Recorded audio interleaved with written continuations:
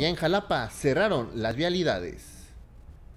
De acuerdo a información de nuestro compañero Arturo Arellano Camarillo, el presidente del Consejo Empresarial Metropolitano de Jalapa, la capital del estado, Octavio Augusto Jiménez Silva, respaldó las medidas de reducción de la vialidad en el primer cuadro de la capital.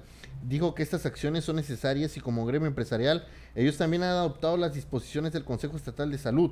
Y es que observó que tales reglamentaciones resultan necesarias e indispensables para contener la dispersión por la COVID-19.